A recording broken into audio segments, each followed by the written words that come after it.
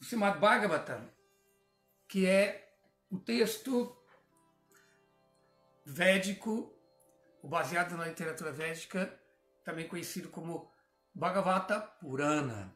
Então, o Srimad Bhagavatam, como Chaitanya Mahaprabhu considerou ele, é o Purana Imaculado.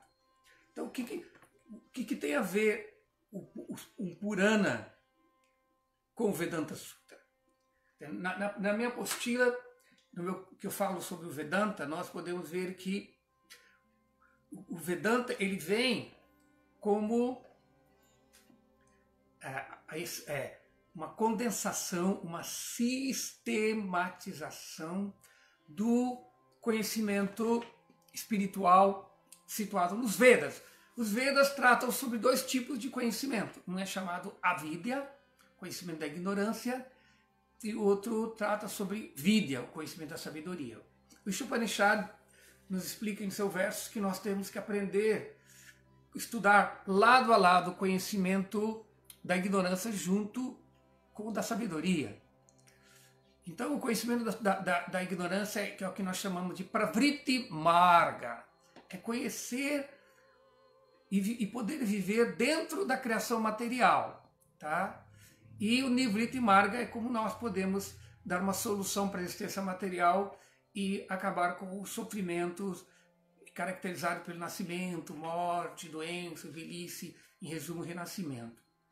Então, o conhecimento que é chamado Pravriti Marga, ele se encontra na literatura chamada os Brahmanas, especialmente com um comentário ritualístico dos Vedas.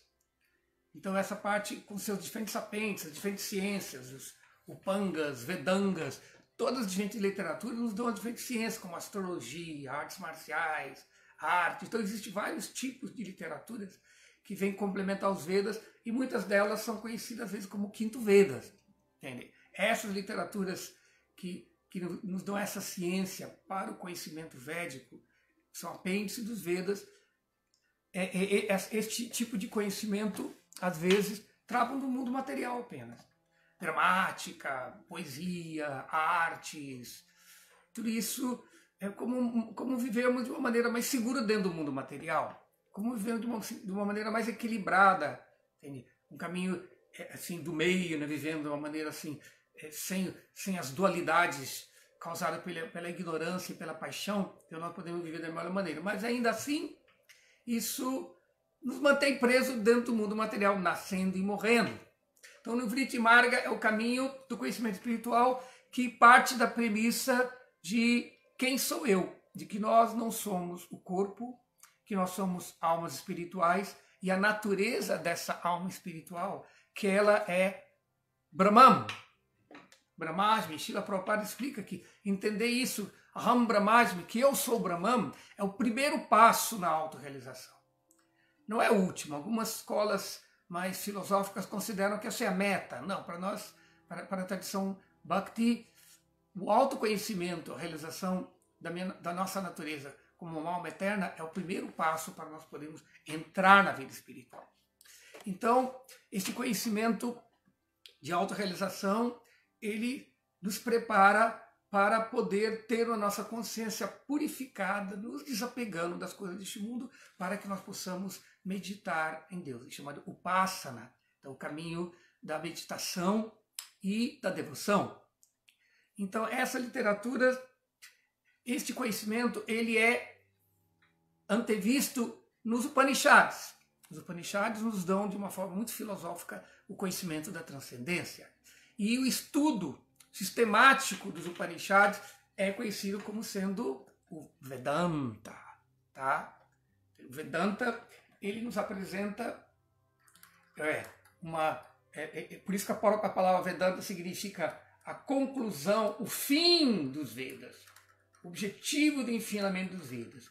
Então, o contexto do Vedanta ele surge dentro do contexto do Karmakanda dos Vedas. Vedas, não? Que, que nos prescreve sacrifícios, nós temos que viver de acordo com o Dharma, a melhor maneira deste mundo, porque a vida humana, ela só começa quando o ser humano ele situa-se no Dharma. Tá? Enquanto nós não nos situamos no Dharma, nós ainda não podemos nem ser chamados seres humanos. Haranidra. É dito que os seres humanos e os animais não se distinguem no que diz respeito a duas atividades básicas, que são comer, dormir, defender-se e fazer sexo. O que diferencia o homem é o uso da sua inteligência para entender o Dharma, para entender as leis da natureza. Então, aí o ser humano ele se distingue e ele pode começar o seu processo de evolução. E aí, quando ele está no Dharma, ele pode ser próspero neste mundo, não? É, a coisa natural da de viver no Dharma é que nós desenvolvemos uma teologia da prosperidade, né? que hoje está em, tá em moda hoje as teologias da prosperidade, aí que chama-se em sânscrito Artha. Os Vedas dizem que existem cinco metas na vida, quatro metas na vida humana. O primeiro é Dharma, né? Que nos situa como seres humanos. O segundo, nós temos desenvolvimento econômico, que vivemos de acordo com o Dharma, vivemos em harmonia com as leis da natureza, então nós podemos viver em harmonia com os outros seres, com os, com os deuses, que, que, seres, espíritos que criam, criam a natureza, com tudo isso, e aí a prosperidade vem naturalmente. Tem quem paga os seus impostos no governo cósmico, os diferentes devas, eles podem nos dar é, nos dar a prosperidade material. E isso permite que nós possamos é, satisfazer os desejos materiais, que é Kama. Dharma, Artha, Kama. Então essa sessão, chamada Karmakanda, ela permite que nós possamos satisfazer isso. E, portanto, uma, uma escola do, do, do da psicologia indiana, chamada Mimansa, diz que o objetivo dos Vedas é o karma. Não é importante conhecer nada, o importante é agir de acordo com as, com, com, com, as leis da natureza, seguindo os rituais, cantando os mantras, executando os rituais corretamente, aí nós podemos ter todas as necessidades do mundo, inclusive é uma postura, que parece até mesmo ateísta, né? Inclusive essa, essa filosofia ateísta do karma mimansa foi pregada por Krishna mesmo, para os seus pais, os pastores, quando eles estavam fazendo o sacrifício para adorar Indra. E Krishna fala, ah não, você não, não tem que satisfazer nenhum Deus, não. Você só faz os seus sacrifícios, só você segue o Dharma direitinho, que você, eles são obrigados a dar. Então essa filosofia do Karma Mimansa, ela é, ela é chamada é, Purva Mimansa. A primeira hermenêutica, a primeira interpretação da religião, do Dharma é isso, viver uma vida correta, viver no Dharma e assim nós podemos evoluir. Mas, em antítese a esta tese da religiosidade básica, temos a o autoconhecimento. Não, mas isso é tudo temporário.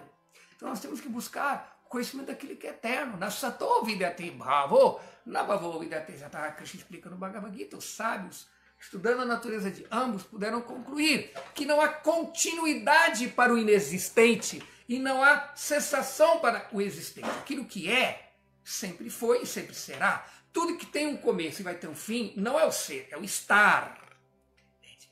Então, nós não podemos nos apegar àquilo que, que, que, que é apenas é, transitório. Por isso, muitas ciências espiritualistas, elas tentam nos dar esse conhecimento que às vezes é pessimista, dizendo que nós temos que nos apegar desse mundo, a causa do sofrimento é, é o desejo e, portanto, nós temos que nos apegar.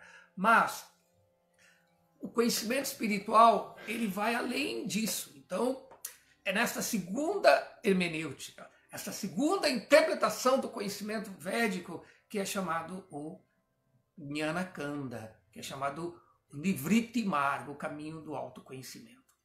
Então, para esse autoconhecimento que começa com autorrealização, entender quem sou eu, tem.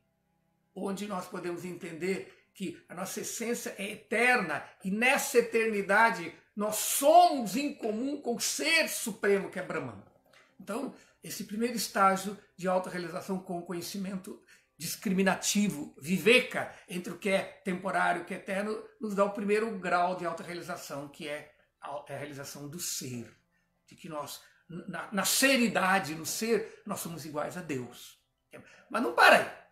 Porque se você para aí, o, o que você está tentando se, se purificar, você leva junto, porque o ego se torna supremo. Aí você pensa que é Deus. Então, o processo do Vedanta, ele, ele não para apenas no conhecimento do Brahman, ele vai também no conhecimento do, do Atma, do si mesmo. Não existe apenas uma unidade de ser, mas isso também uma natureza de consciência, uma consciência suprema que nos ilumina e nos dá o conhecimento para que nós possamos ir para o plano espiritual. E isso é exatamente o yoga. O processo do yoga é trabalhar na consciência, não apenas a discriminação, eu não, neti, neti, eu não sou isso, eu não sou aquilo, e ficar condicionando, ah, eu sou, sou ran, sou ran, eu sou aquilo, sou... Não, esse conhecimento, é, ele é propedêutico, ele é preparatório. Você não pode ter isso como fim.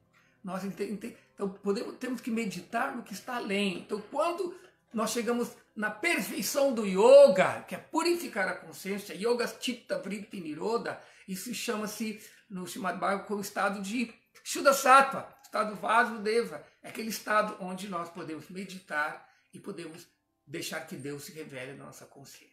Então esse conhecimento também se apresenta no Vedanta. A finalidade do Vedanta é compreender esta realidade.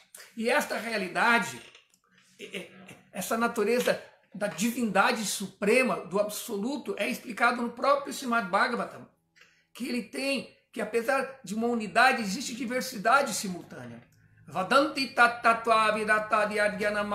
brahmeti paramatmiti bhagavaniti shabdati. Os videntes da verdade, estudando a natureza de ambos, puderam concluir que é essa substância é, é não dual, com a, com a sua visão é, é, de yoga, eles puderam, com a sua visão de, de, de realização pela graça de, da, da divindade, eles puderam conhecê-la e ver que ela é uma realidade única, ela é não dual, mas ainda assim ela pode ser descrita às vezes como Brahman, o ser, quando nos aproximamos dela pelo conhecimento, como o Paramatma, a super-alma, a superconsciência em todos os lugares, quando nos aproximamos pela meditação, e como Bhagavan, como aquela personalidade cheia de qualidades, de opulências e que atrai a alma com sua devoção, com seu amor, que através de Bhakti. Então esses três processos são ensinados no Vedanta.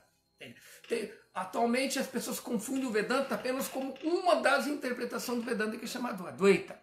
Mas existem várias escolas de interpretação do Vedanta por grandes acharya que nós vamos ver é, é, é, é, na medida do tempo, grandes acharyas como, como Shankaracharya, Ramanujacharya, Madhvacharya, Nimbarka Swami, é, é, Keshava, é, é, é, Vallabhacharya, Mimbarkacharya e, por fim, Chaitanya Mahaprabhu, através de seus principais discípulos, que foram o comentador do Vedanta como Baladeva, Vidyabhushana e Jiva Goswami.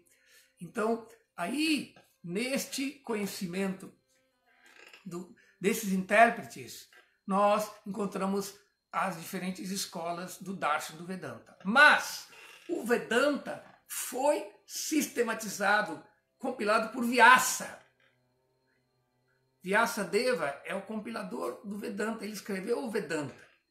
Mas você encontra no Srimad Bhagavata que, mesmo apesar dele ter dado conhecimento das diferentes ciências védicas, mesmo dele, dele ter dado conhecimento sobre Vedanta, Yoga, todo conhecimento místico, ele ainda ficou, ficou ele estava insatisfeito. E, portanto, o seu mestre, é, é, Narada, apareceu e falou, por que você está assim? É, porque eu já fiz todo o meu trabalho, compilei todos os Vedas, escrevi tantas literaturas, mas estou insatisfeito. É porque você esqueceu de falar sobre a meta de todo esse conhecimento. Então ele, aí ele descreve essa realidade absoluta em seus diferentes aspectos, como Brahman, como Paramatma e Bhagavan, Bhagavan como Vishnu, como Krishna, então esses aspectos e está no Srimad Bhagavatam. Então, esses comentadores, eles não são os únicos que interpretam o Vedanta. O Vedanta ele tem uma linguagem filosófica muito profunda, mas existe um tipo de literatura chamada os Smritis, Puranas, que são mais adequados para as pessoas condicionadas pelos gunas, Raja, Sattva e Tamas, e portanto nos dão todo o conhecimento esotérico dos Upanishads dentro de toda uma história cosmológica, descrevendo na história do universo, como o universo é criado, junto com a filosofia Sankhya, como que como a criação é feita, como as diferentes encarnações da divindade, então, como todo, todas as manifestações dos sábios, dos reis, e ali, né, nesse conhecimento, a filosofia, a essência da filosofia do Vedanta é explicada. Ou seja, Chaitanya Mahaprabhu diz que este Srimad Bhagavata, que é considerado um dos Puranas mais importantes, ele é o comentário natural do Vedanta feito pelo próprio autor do Vedanta Sutra. E é isso que nós vamos tentar fazer.